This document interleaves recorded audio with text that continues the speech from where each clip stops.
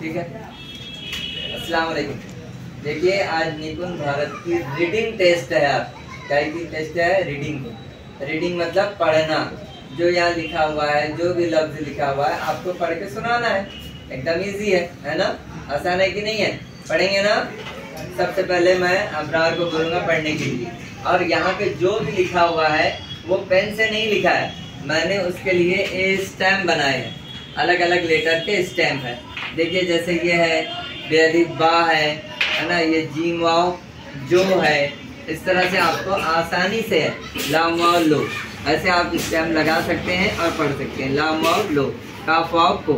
इस तरह से ये एक्टिविटी हम डेली अपनी क्लास में करेंगे ठीक है? सबसे पहले देखते हैं अबरार। हाँ अबरार पढ़ के सुना बेटे क्या है? बा। ये? का। ये?